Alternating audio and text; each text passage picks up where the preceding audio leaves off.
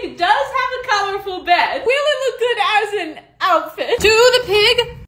Oh, where is she? Oh, just her afternoon siesta. Hey, Miss Pooms, do you mind if I use your bed for a minute? I think that's a yes. Starting with her rainbow blanket. I truly just have a little bit of everything in my closet. Rainbow blanket, check. Now white fluffy. The more I do these types of videos, the more I just impress myself. Be very sad if Puma doesn't like this outfit. Hi, Henry. Checking the fluff off the list. We need orange for the sheets and then a little bit of yellow. I'm thinking yellow booties for a little Pumbaa booty.